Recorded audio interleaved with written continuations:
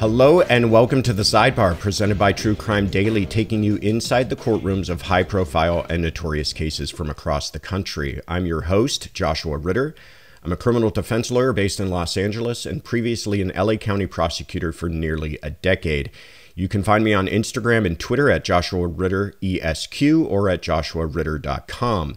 We are recording this on Friday, September 14th, 2023.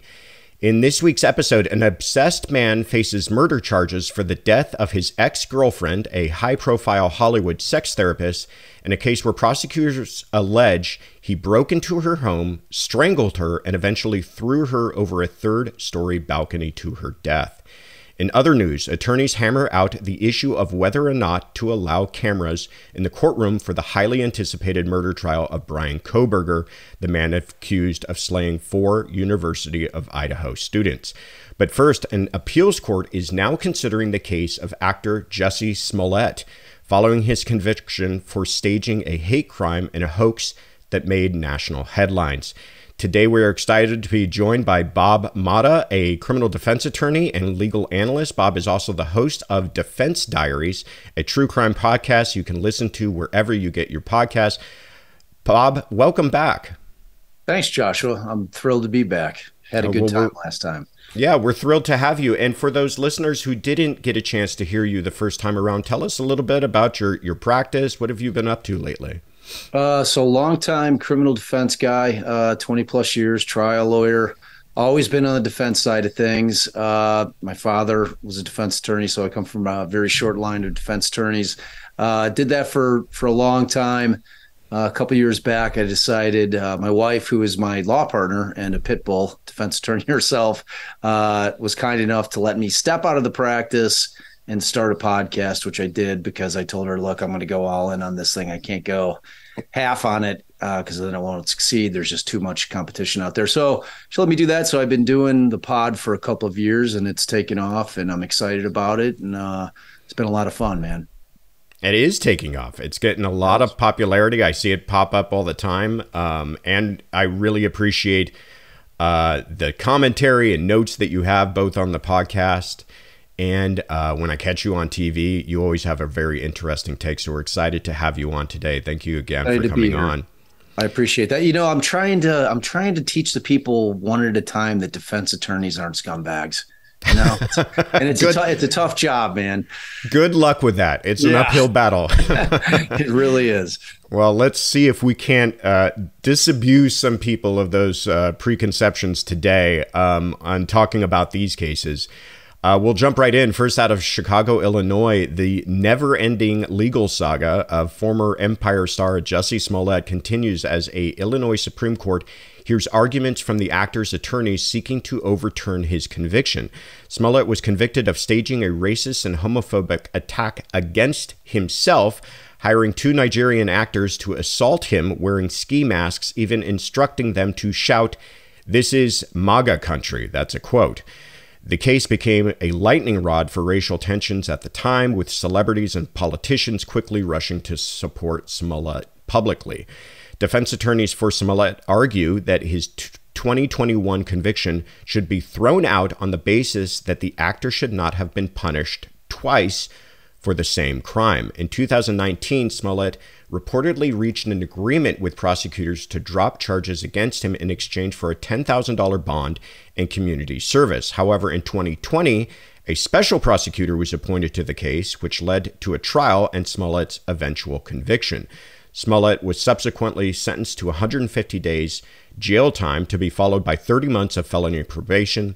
He was also ordered to pay over 120 $1,000 in restitution to the city of Chicago, along with a $25,000 fine. A three judge panel will now consider Smollett's appeal.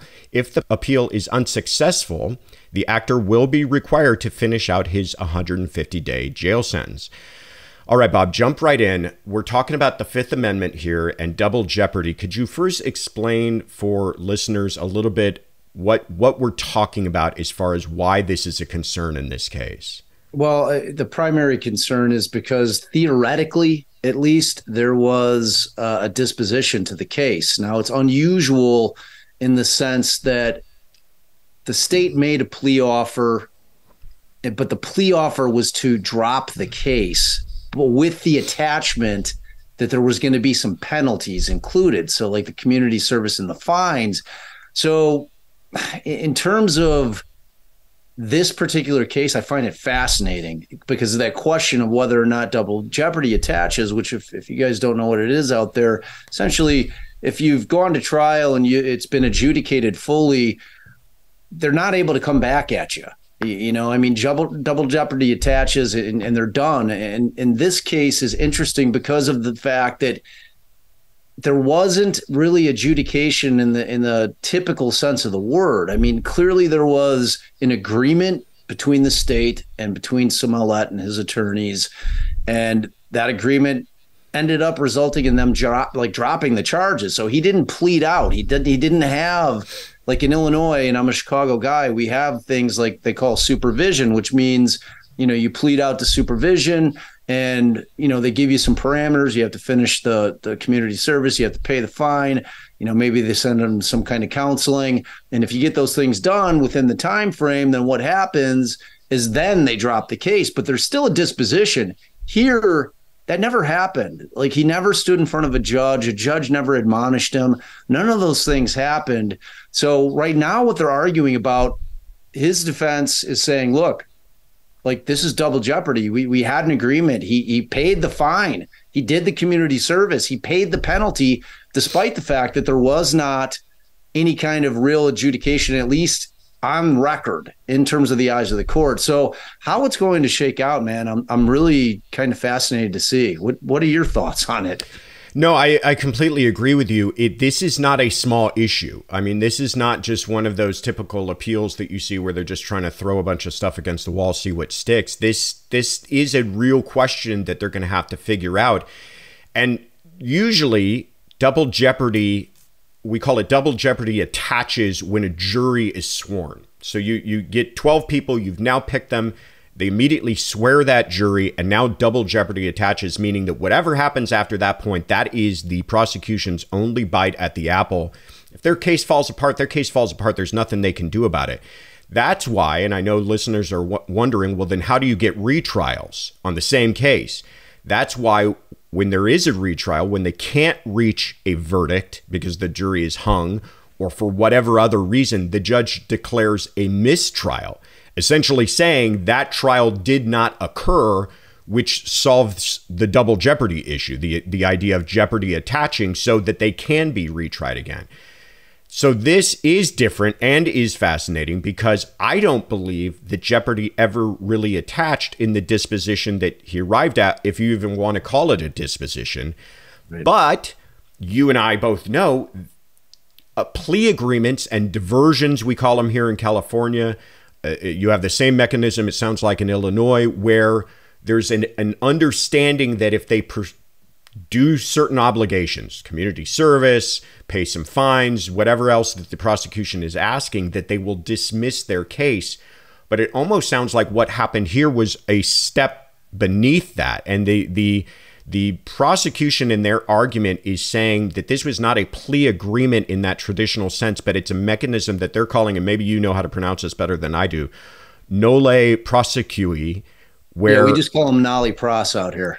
nolle pros. Okay, no, yeah. okay, great for thank you for telling me that. So yeah. nolle pros, it, which my understanding of it is basically they're saying we're not even going to prosecute. We're not we're not even going to file charges because he's done A, B, and C, and therefore we're not even going to go to the point of of getting a case in front of the court. Is that basically what they're saying took place and why this should be treated differently? Yeah, when like typically, and it's, it's still unusual. Like when typically I, I go in on cases and say, for instance, uh, like a lot of times uh, we get nollie process on uh, domestic violence cases where you have that circumstance where it's a, a boyfriend, girlfriend, husband, wife. You go, you set it for for trial more quickly. Cooler heads prevail, and or uh, you know the the actor like bullies the the other the victim into you know not showing up to court so often what happens is i'll go in if i'm defending the case and they can't get service on the victim uh, they'll typically give them two or three contingencies in order to try to get the victim served, in order to to bring her into court. If it's if it's a female in that situation, if they can't get it done, typically what they'll do is they'll nollie process it, where it leaves them the opportunity to come back. That that's the thing. They can they can yeah. recharge the crime. So, and there's a difference when I was talking about supervision. Supervision is, is one thing, but they also do have the same thing as you guys have out there with the diversion program, and it's the same thing. But but the difference in terms, of, and I'm in Illinois, all right. So Kim Foxx, who was the former prosecutor, who was the one who originally dropped the charges, and the entire world's head was going to explode. Everyone right. was so upset about it, and and she's the one who basically made this sweetheart deal. But typically out here if I get my guy into a diversion program, like what they do is they go in and they plead it out. So there is it, it is adjudicated. There is a disposition. You know what I'm saying? So they're pleading it out, they're staying it. And at that point, if he can finish the program, then it gets dropped. So what didn't it's missing that crucial step here where where they they basically had him plead out either and it's the same with supervision in both situations you're you're pleading guilty but they're going to stay prosecution until the time to see if they can finish the program and finish whatever the, the requirements are under the plea deal. If they if, if if they can do it successfully, boom, it's gone. And it would be considered like in those cases, I would say that jeopardy attached. Here, I, I think it's a real uphill battle for Smollett's team because I, I agree with you. I just don't think that they they hit that necessary requirement for anything of of note. Like I, I don't even know what the appellate court can hang their hat on in terms of saying, okay, well, there was a disposition to this case. Well, a backroom disposition, maybe a handshake yeah. deal, but there's nothing on the record. I mean, what what is the appellate court going to look at in terms of trying to because they're they're bound by the record, right? So right. They're, they're they're gonna they're gonna be wondering, well, what are we basing this on? Because there is no record. I'm curious to see how it's going to shake out, but it's it really is fascinating issue though. Yeah, and if there if there wasn't even a case filed, to me uh, to me there is no double jeopardy issue here. Um, right. But there might be some sort of almost contractual issue here because listen, there you know this this happens all the time where when you're plea bargaining you're essentially entering into a contract the prosecution says here's your offer if you'll do such and such and he accepts that we will do such and such meaning dismiss some of the charges have him plead to something lesser that you know nobody's signing pieces of paperwork sometimes they are but most of right. the time this is just kind of oral contracts that are taking place and i think there's an argument for Smollett, not to say that he's been tried sh- twice for the same crime, but listen, you made me do something. You said, give you a $10,000 bond and do some community service, and you wouldn't prosecute. And he did that. Right. Now, the only wiggle room here is, as far as my understanding in the moving papers, is that there wasn't that promise of we would not prosecute. There was just this idea that they would go in with that nolle pros which I, again, I guess if you're arguing on his behalf, you're like, well, then what was I doing it for? If it wasn't for a, a promise to not prosecute, what am I giving you $10,000 for and doing all this community service? So it may just come down to bad faith on the part of the prosecutor's office. Which happens. Yeah, totally. Yeah. And, and like you said, man, eh, like a majority of the time when I'm working out a deal, and whether it be with just strictly the prosecutors or if I'm working with law enforcement as well, if I've got a guy that's interested in maybe working with law enforcement in order to kind of skate out of some, you know, type of charges that he had picked up or they had picked up, it's not in writing.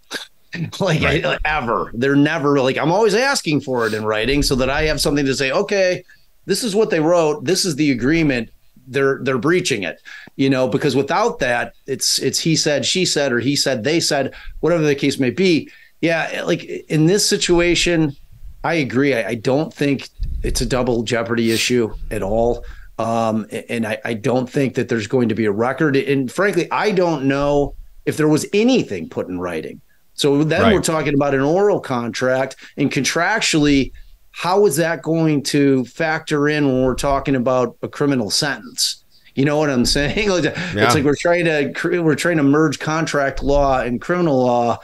It's it's a nutty case. It was crazy to begin with. it hasn't gotten any less crazy as it's no, no, it hasn't. And and and I think you're right. Somewhere the the the Court of Appeal or the Supreme Court there in Illinois is going to have to to to clarify all of this and work their way through the muck to figure out what exactly took place.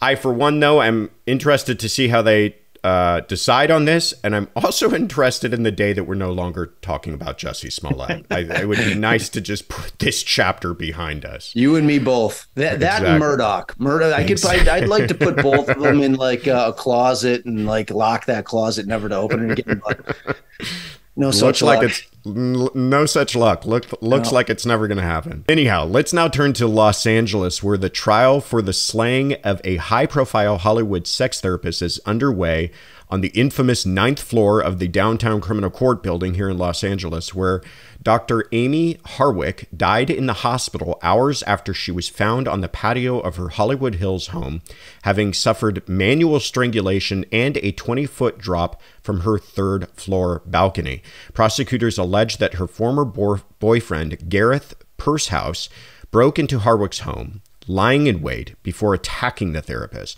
Harwick and Pursehouse dated briefly before the doctor ended the relationship in 2012, eventually seeking protective orders against Pursehouse. A chance encounter in 2020 at an award show allegedly reignited Pursehouse's obsessive fixation on Harwick, which intensified in the month before her death. Defense attorneys for Pursehouse have alleged that the man fell into a deep depression following his encounter with Harwick before going to the doctor's house to seek a resolution.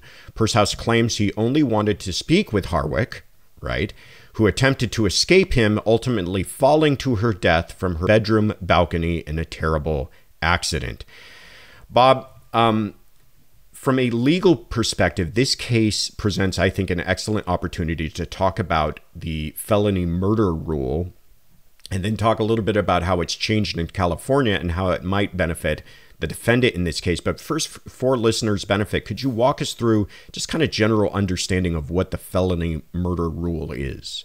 Yeah, essentially, kind of breaking it down in the simplest form is if in during the commission of a felony, so say you're going to rob a bank and your intent when you left the house was not to kill anybody, but to go rob the bank so you can get the money. And you get into the bank and you've got a feisty old security guard there, and you're in the in the commission while you're actually robbing the bank. The old security guard pulls out his gun, and you take out your gun, and he gets killed, and you didn't even mean to shoot him. Say say you just shot up in the air and the bullet came down and went through the top of his skull without any intent. So your intent is not because that that's really what it boils down to when we're talking about felony murder. That rule is that somebody gets killed during the commission of a crime without you intending on killing them. Now that that rule used to be too bad. You were committing you were committing a felony. Somebody died during the commission of the felony. You're going down on felony murder. So because typically with murders, you know, Joshua, there's there's there's got to be the intent meaning that you had to intend on killing that person. So that's that's kind of like the bottom line. It's basically where if somebody and a lot of times where it happens are are where you have multiple people multiple actors where like the the the easiest way is like look we're going to joshua and i are going to go rob a, a liquor store and he's going to be the getaway driver. I'm going to go in and uh, i'm going to do the robbery he waits out there or he comes in with me, gets the money. I say, go get the car ready, pull it up. He's like, all right, goes out. I have beef with the the cashier. I end up shooting and killing the cashier while Josh is quietly sitting in his vehicle, minding his own business, listening to some music, patiently waiting for me to come out. I jump into the car. I'm like, oh man, I just killed that guy. Back in the old days, and it sounds like California, you guys, it's still that way in Illinois sounds like California, you guys changed your law there. Back in the old days, Joshua is going down on felony murder. He's because he was a participant in the crime. He's just as guilty as I was, even though he wasn't the shooter. So that's it's kind of how the, the rule works. Yeah. No, that was an excellent explanation of that. And just to add to that, so people aren't concerned as to, you know, why are we applying murder charges to somebody who didn't actually pull the trigger? The, the idea behind it is it's not just any felony. I mean, we're not talking about tax evasion.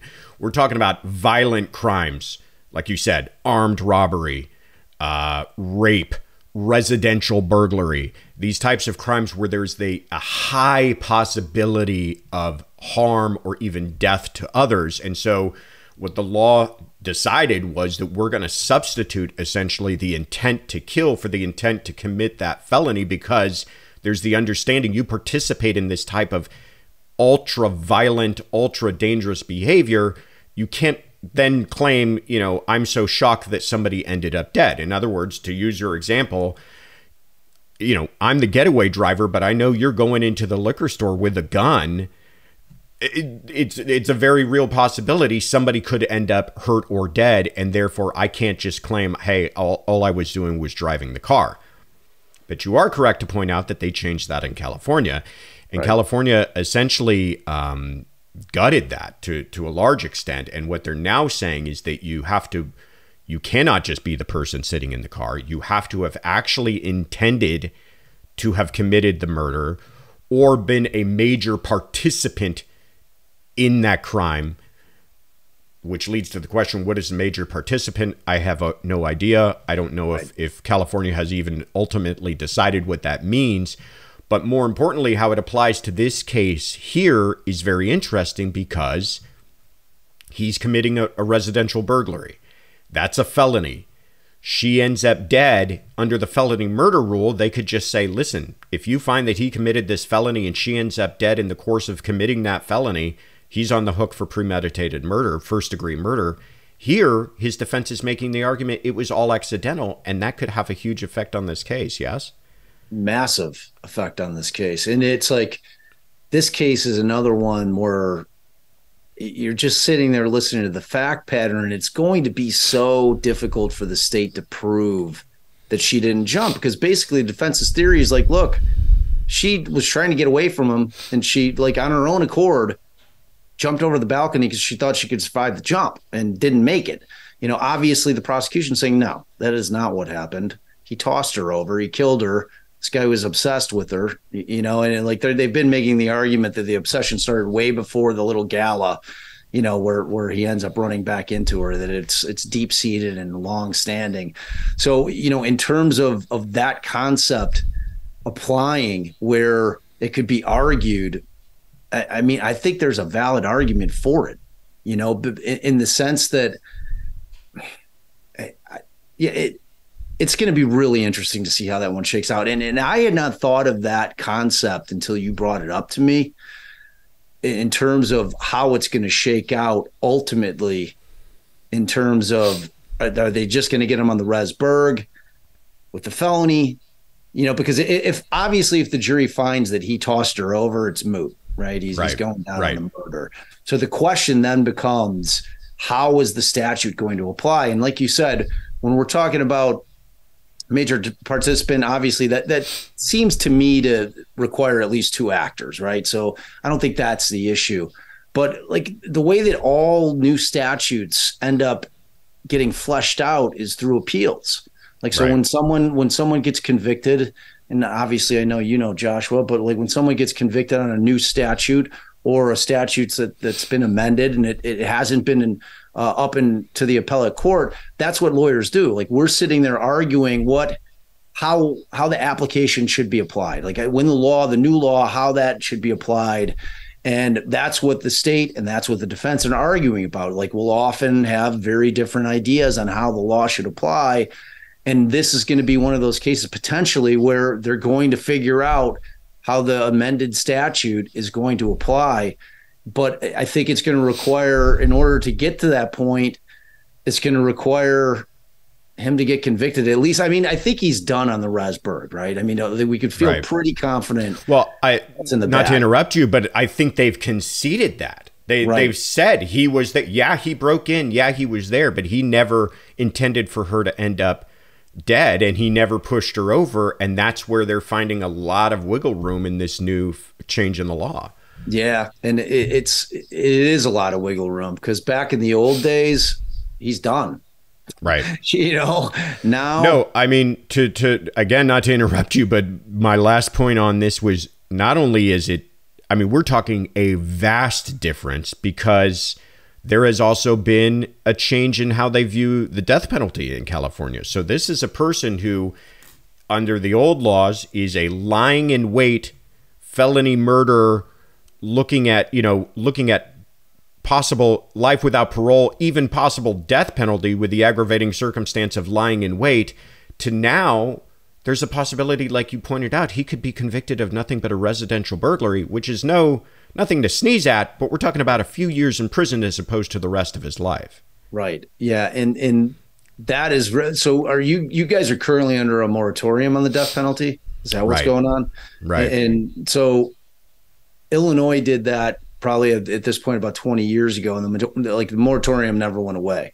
So Right. like like what what are what is California's like final destination with that? Are they looking to? Well, he's he the governor Newsom has already said that he intends to dismantle death row. So, if Wow. yeah, it's under a moratorium, which you know we could have a whole episode on this, but you know the the, the voters of California have several times have this come up on whether or not they still want the death penalty to be on the books, and it's always been reaffirmed. Yeah. But he has taken it upon himself to not only put it into a moratorium, but now he's dismantling death row altogether.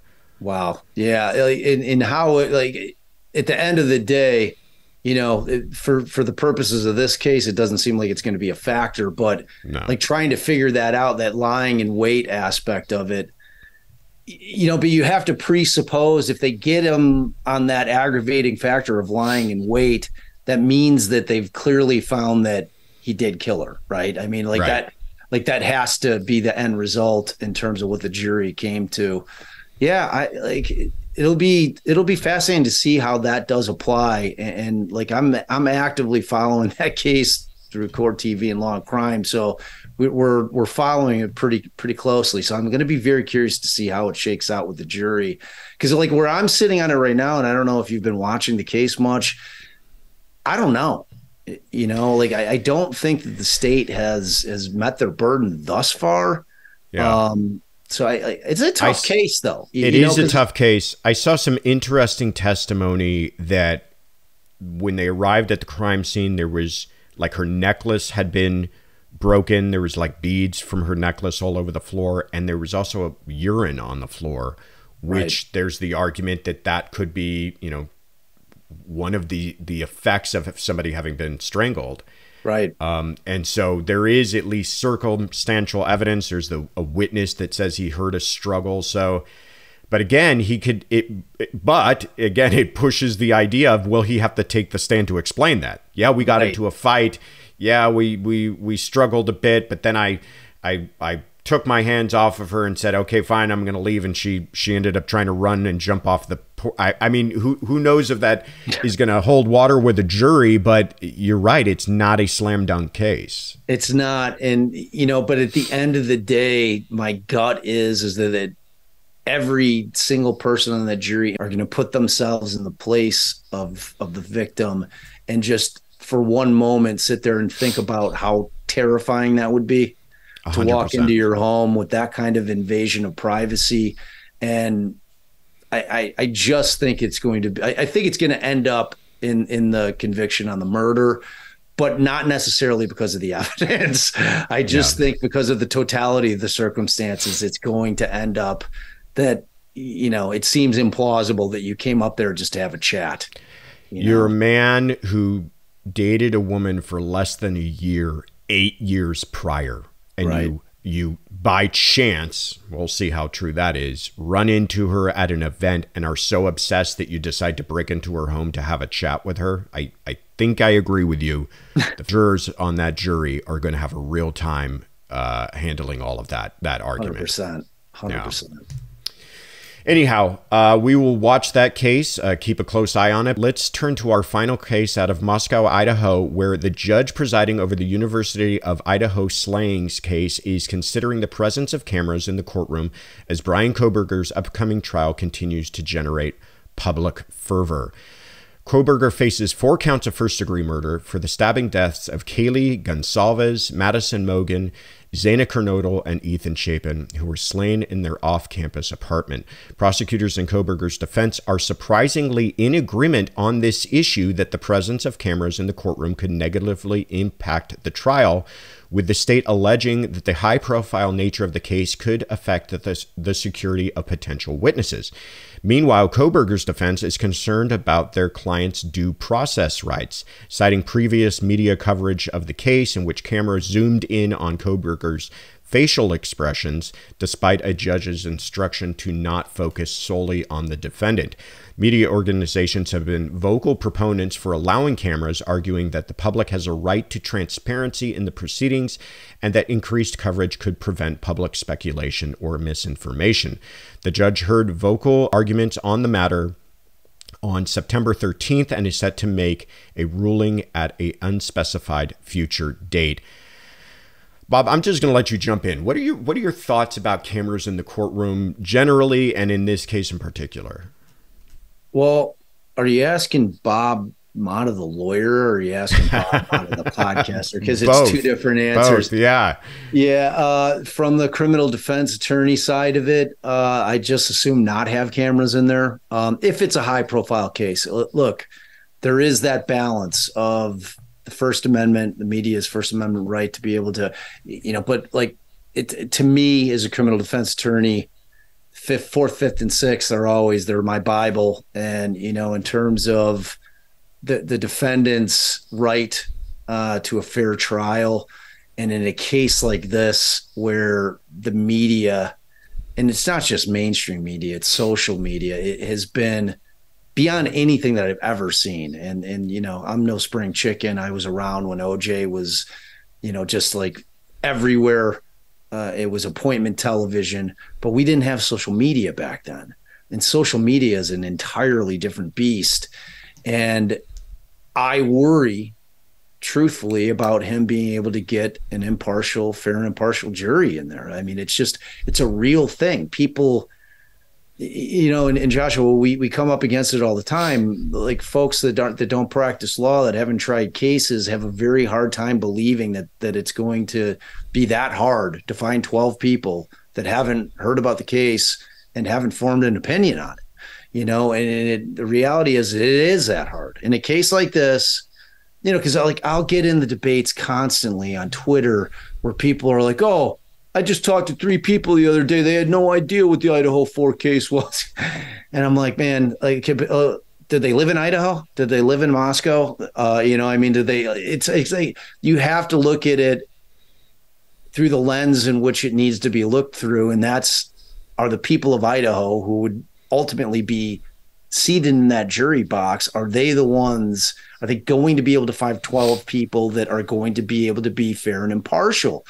And and you know how it is. Like we we've gone through when we're picking a jury and I'm trying to get a juror removed for cause because I don't want to use one of my challenges. And I've asked the question, or the judge has asked the question, you know, have you heard about the case? Have you read publicity about the case? Have you seen or read or heard anything about the case? Juror says yes. Okay. Well, have you formed an opinion on the case? And the juror says, you know, pretty much yes I, I, I think they're guilty. So then the judge has the opportunity to try to cure them okay? Yeah. and the judge will say okay now i understand that you've answered those two questions affirmatively. What i'm going to ask you is despite that do you have the ability to follow the law and to listen to the evidence and make your own judgment based on those two things alone without taking your whatever your prior bias or consideration was into effect or into account. And if they say, yes, I can do that, the judge, for the purposes of considering that juror cured, considers I'm cured.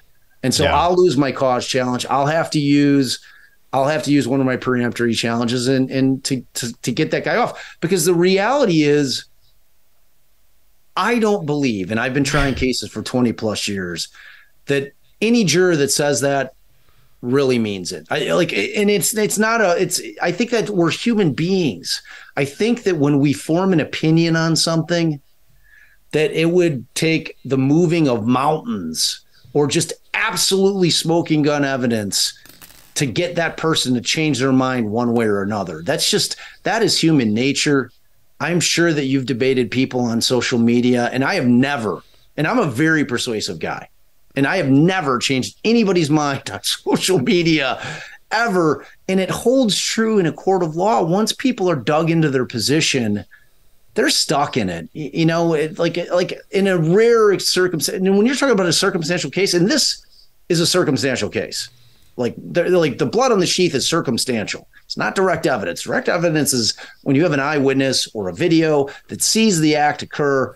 This is a wholly circumstantial case, and people are going to have their opinions on this thing one way or another.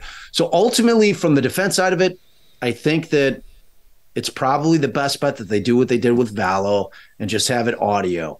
And from the podcaster side of it, I want the thing televised. I want to see all of it, you know, because the yeah. audio is sufficient obviously as observers of of the the case we'd like to see the people on the stand. We like to be able to look at their body language. We want to be able to see how they're acting on the stand. We like those types of things help fill out a picture for us in terms of getting a total picture. But you know when you're balancing what's more important and, and you know i realize that people are going to say well my interest in the case is more important than the defendant's you know sixth amendment right.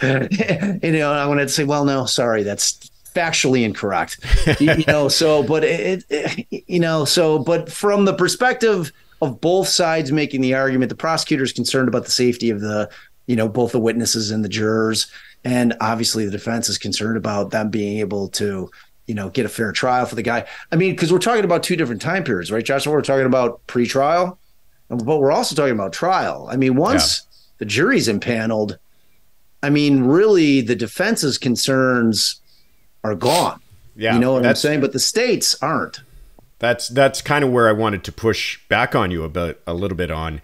First of all, I I, I have to uh, add to your comment about the judge when they try to rehabilitate a juror and they say, uh, "Can you follow the law or follow my instructions?" And I agree with you. It's so frustrating because you could have done such a great job of exposing all the biases that this person carries into the courtroom. And by the way, we're not trying to say that makes that person a bad person. That just not makes them not appropriate for that case. They just right. have some preconceived notions that they shouldn't sit on this type of a case. Fine, you're a great person, but you, this isn't the trial for you.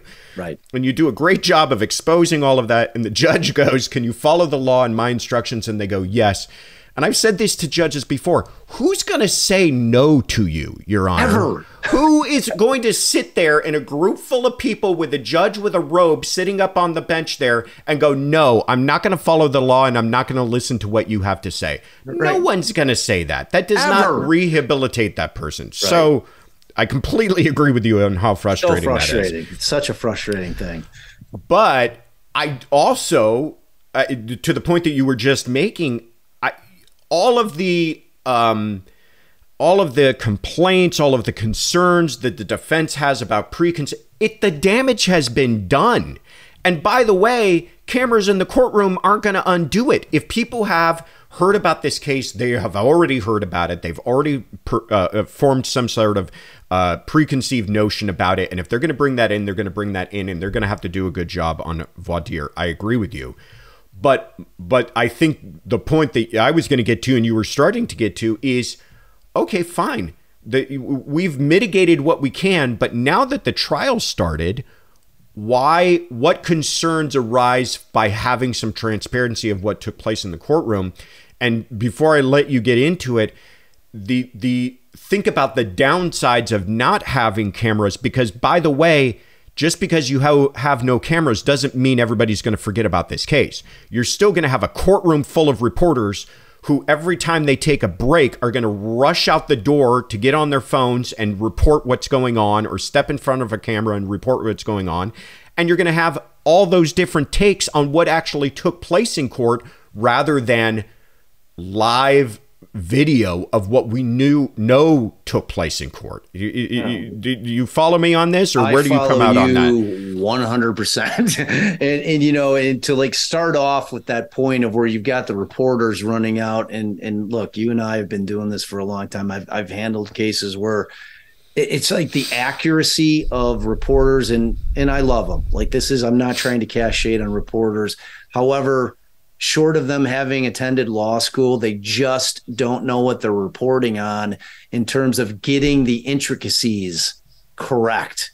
Like that's precisely yeah. what you're talking about. That is the advantage for the transparency for all of us to be able to accurately see what actually happened in court. You and I are going to have very different views than lay people in terms of what's happening in court just because of our educational background and because of our experience in practicing.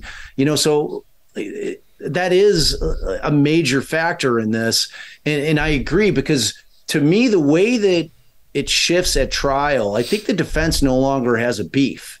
I think at that point, which really seemed to be to be the the thrust of what the state was saying, is they were concerned about having the trial televised for the purposes of the witnesses being harassed yeah. and or threatened and the jurors you know if god forbid like in their eyes they came back with a not guilty on the thing they're they're very concerned you know so like those two things are are competing factors but they're all kind of like ending up at the same place where both sides which is unusual frankly that both sides came into that hearing wanting the cameras out of there you yeah. know and like I, I wish i could be a fly on the wall in, well, in either office, either Anne Taylor's or John, you know. And I like just think they know it makes life easier for them. I mean, that's way just, easier. That's just true. I mean, I've I've had trials that were you got a camera in court every single day, and it's just more difficult for you it because is. you've got to compete with all of that, and then realizing that you're going to be scrutinized for everything that you did in court everything. that day. So yeah, I as far as they're concerned, I can totally understand it from their very personal, selfish perspectives. I'm not calling them selfish, but I understand why right. it makes life easier for them. But I just feel, I mean, listen, we are we are in the this is happening, folks. We are in the day and age of where everybody wants a camera somewhere to see what's happening. I think Idaho's taking itself maybe a little too seriously or overthinking this. We had the Murdaugh case that had cameras every single day. Yep. had Johnny Depp and Amber Heard that took over the entire country, cameras every single day. They managed to pull pull both of those cases off, and I don't think there's an argument that the the cameras fundamentally affected what took place. You could probably argue that it changed some people's behavior and everything else, but I don't think it fundamentally changed it to the point that there was a miscarriage of justice and I just think that they there's a way to do it that that addresses everybody's concerns, and I think that if they end up um, not having any camera, even a stationary camera in court, I think it would be a a disservice to to people watching this and people concerned with how this case ends up.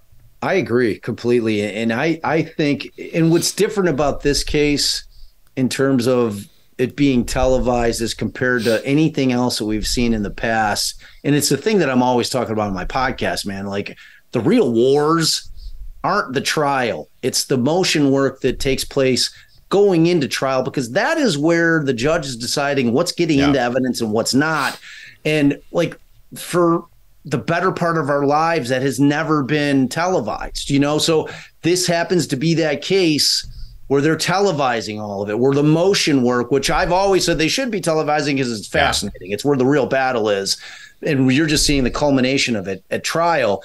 You know, like this is that situation. That's why I, I think if they if they're gonna they're gonna have to say, okay, look, I'm gonna if I were the judge, I'd say I'm gonna cut the cameras for the motion work as much as yeah. I don't want to. I think it should, but there's going to be trial during the trial, there's going to be cameras. I, ironically, it. that would probably be the way to best preserve the integrity of the jurors and everything else. Is right. it's all this behind the scenes stuff that you're really concerned about people who might be sitting on the jury seeing. Yeah, right. That's a really exactly. really good point. Yeah. Well, um, I think we're going to find out any day now uh, how they how they fall on that, and and whenever yeah. this comes to trial, which I I don't think will be anytime soon, but we will continue to continue to watch it and keep our eyes on it and report back about it. But in the meantime, that's our show. Bob, thank you again so much for coming on this week. Where can people find out more about you, about your podcast? Uh, yeah, I mean, I'm on I'm on TV quite a bit do court court TV, Law and Crime, News Nation, wherever wherever they call me, wherever they beckon, I uh, I show up. Uh, but in terms of my pod, which is really my my my real passion, my love, uh, you can find it anywhere you get your pods. It's called Defense Diaries. We've got a side pod called The Docket. Uh, unfortunately, Joshua, they're both on the same feed right now, which we're rectifying because people are getting confused. And, and right now on the docket, and my wife is my co-host, who I said is my law partner, and you know, obviously my partner in life as well. Uh, we are covering the Steven Avery case, and we're doing it like no one else has done it. So if you're interested in that case, or if you're watching oh, yeah. convicting a murderer, our, we have no agenda. Both of us are going into it. We had both watched, obviously. Uh, you know, making a murder. And, and I realized as soon as I watched it, I'm like, well, they forgot some stuff they had to. There's no way they had a conviction on what they showed there. So the making of a murder, which is is or convicting a murder, which is out now, they both have agendas. We're not doing that. We're going through the entire case. It's going to be a deep dive. So we're excited about it and we're fascinated about it. But that is on the docket. But Defense Diaries, anywhere you get your pods, that's the spot. Awesome. Yeah, I'm no, I am fascinated on that everything. I will I will turn in because I know that I felt the same way watching that documentary. I'm like, this. the, I'm talking about the making the murder one. I'm like, I thought they did a great job, but I'm like, nah, none of this. It, it, some of this right. does not seem to be fitting together here. Uh, it does not. Yeah, there's. I feel like we're not holes. getting the entire story. Yeah, but it was well, unbelievable. Like it was a. Yeah. Like man, when it dropped, and it was like it was around Christmas time. The kids were like, out. we were all at home, and man, I binged it, and it was really, really well done. Oh yeah, Oh it yeah, just you know, it had highly slant. entertaining.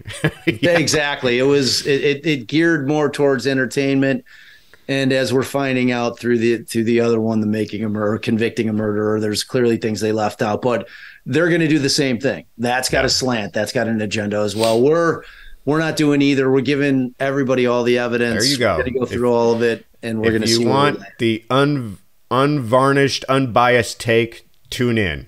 That's uh, spot. all right. Well, thank you again. I'm your host, Josh Ritter. You can find me on Instagram and Twitter at Joshua Ritter ESQ or at joshuaritter.com. You can find our sidebar episodes wherever you get your podcasts. And we want to hear from you. If you've got questions or comments you'd like us to address, tweet us your questions with the hashtag TCD Sidebar. And thank you for joining us at the True Crime Daily Sidebar.